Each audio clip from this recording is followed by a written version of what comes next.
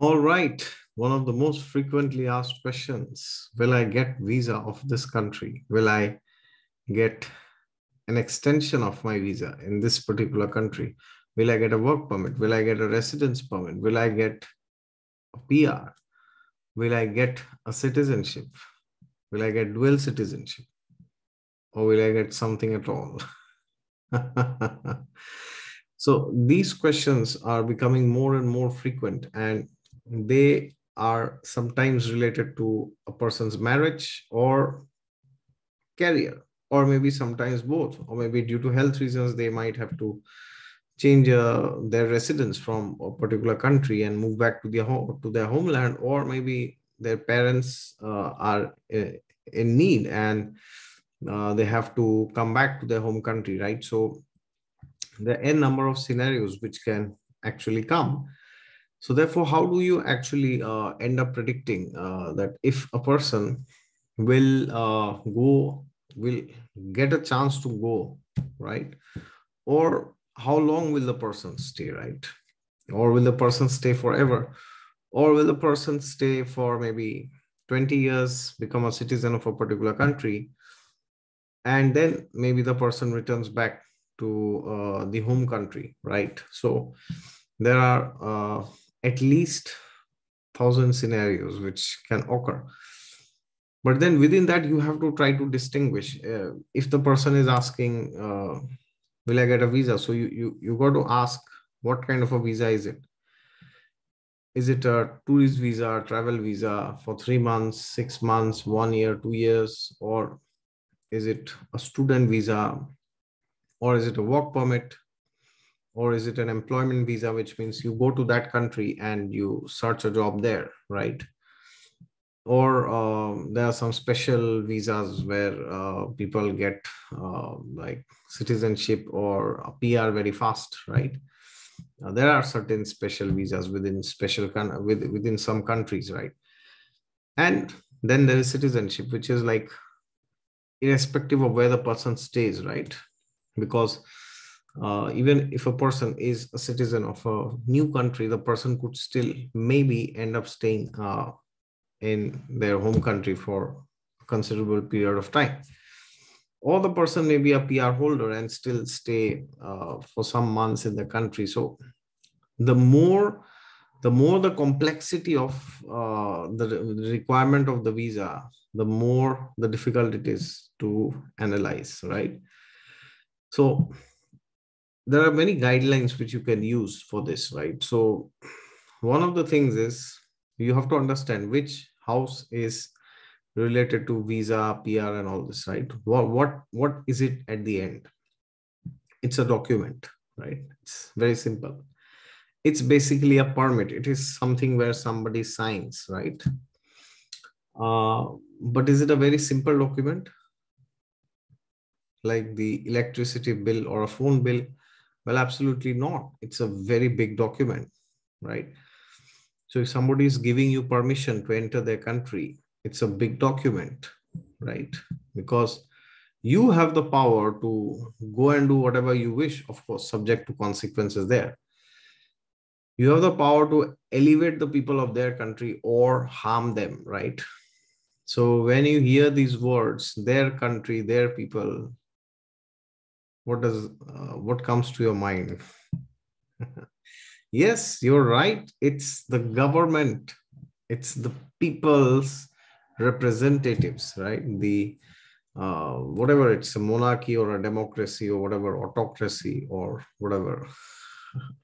So it's basically the government. So whenever you talk of visa or you start with visa anything related to visa right? Up to citizenship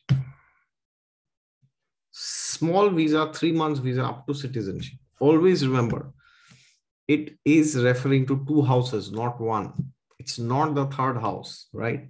Third house could be that, uh, but it is something much more than that, right? So it is an addition with the third house, right?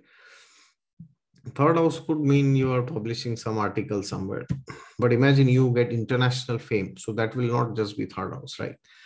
That that will be 12th house added to the third house that will be 10th house 11th house so you, you, you have to understand how you can combine the houses, right, for a particular event of life. so therefore, you have to understand that whenever you are running, because see, the third house and is a document and 10th house is the government. So it's like a document given to you by the government for a particular purpose. If the fourth house is linked, it can be education. If the if the sixth house is linked or the 11th house, it can show employment, right?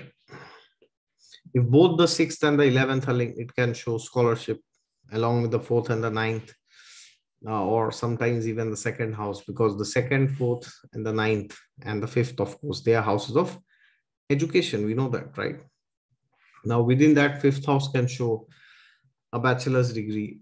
Not necessarily, but I'm just trying to tell you how should you approach this, right? And then, of course, we have the ninth house, which can show master's, PhD, and all this, right? So, therefore, you have to understand that, first of all, you have to check the overall chart of the person, right? So, if if the person's third house is very badly afflicted by natural malefics or by functional malefics, right? or the third lord is in a dusthana, then dusthana in the bhava chart, not in the lagna chart. All right. So if you do not know what is a bhava chart, please go and type exotic astrology bhava chart. You will find it B H A V A, right? So please check your bhava chart and see where is the third lord placed. And you also have to see if the lords of the dusthanas are placed in the third house, right? Sixth lord, eighth lord, or twelfth lord in the third. So then it, it's like a given fact that it can be a bit difficult for somebody to get visa of a particular country, right? Of course, which country it is, for how long that we will see later, but this is a basic thumb rule. So, and on the contrary, if your third lord and the 11th lord.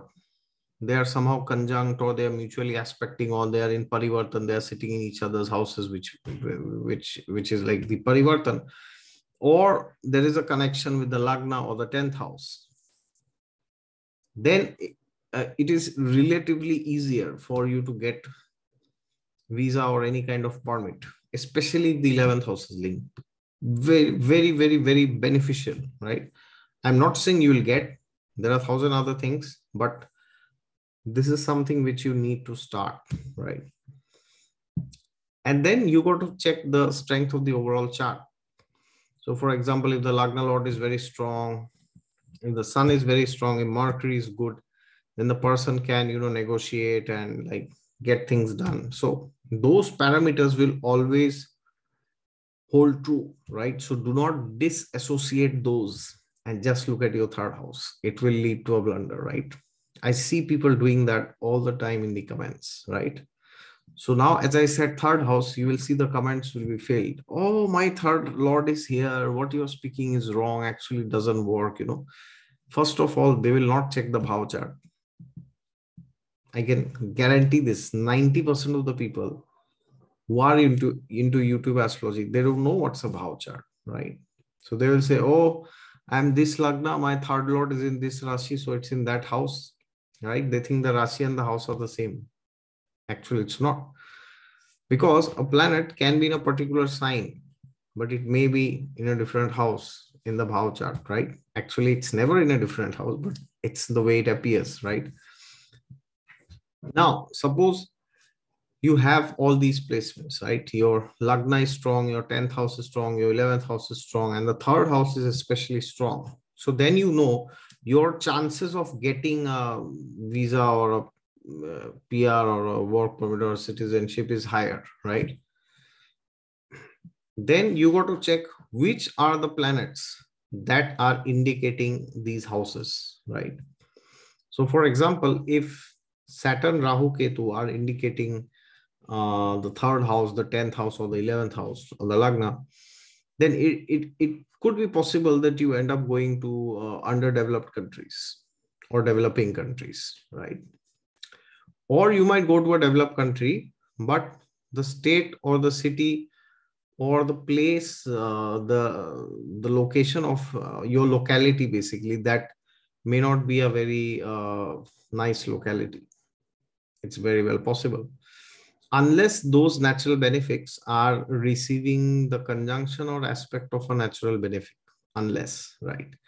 So for example, if you are running Saturn Rahu in Dasha, and Saturn is conjunct with Jupiter or you know, Jupiter is aspecting Saturn, then that can mitigate the effects, right? So, and on the other hand, if you're running the dasha of natural benefics like Jupiter, Moon, Mercury, Venus, then the chances are more that you end up going uh, to a developed country. Now, suppose you are running Saturn Mahadasha and you are running Jupiter Antardasha. So where will you go? Will you go to a developing country or to a developed country? Which country? Difficult, right? So in that case, the Pratyantar is very important. So if you are running Saturn, Jupiter, uh, Rahu, then it could be a underdeveloped country or a developing country. And if it is Saturn, Jupiter, Venus, then it could be a developed country, right? And along with that, it's very important that you check which houses are linked. So, for example, if the second house and the fourth house are associated, because the second house shows family and the fourth house shows motherland, right? So imagine a person gets a good dasha and the person goes to uh, pursue bachelors in a foreign country. But then his second house or fourth house is getting activated. So then it is possible.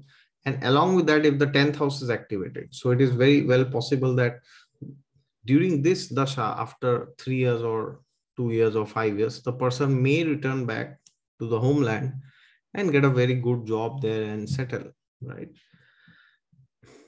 But if after the education, the successive years, at least two years, three years, or five years, or 10 years, at least three to five years, if the ninth house or the 12th house is linked in the dasha planets, which means you are running the antardasha of the ninth lord or the 12th lord, right?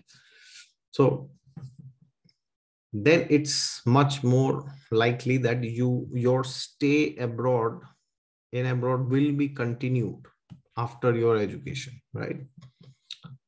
And it's also possible that if the dusthana houses are linked then you might still stay in abroad but you might be in problems. For example you might have to seek asylum. You might have to um, pay money to somebody bribe and all this, right? Yeah, it, it happens. Or you might have to enter illegally, or you might go like a refugee, right? Now, I'm not saying you should uh, pay bribe, but these are scenarios which you can encounter, right? Because the Dusthana houses, they will always take something from you, right? They will suck your blood somehow.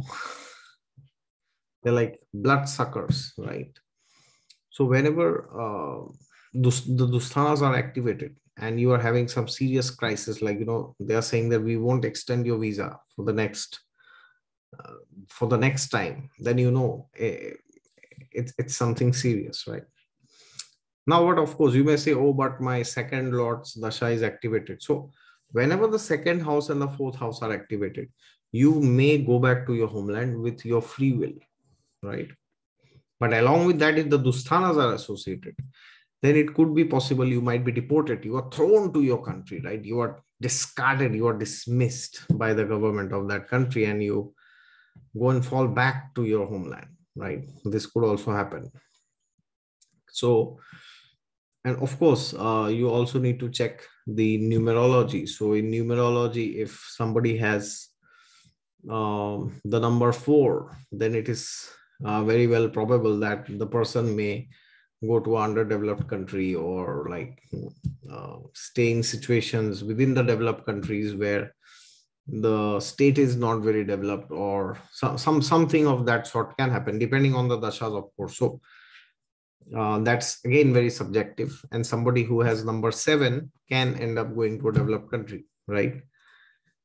But again you have to combine astrology and numerology. There are thousands of people who have the number four and they have gone to developed countries and who have number seven and they have also gone to underdeveloped nations okay so therefore you you have to check both the numerology and the astrology. If you just check one, it will lead to a blunder, right?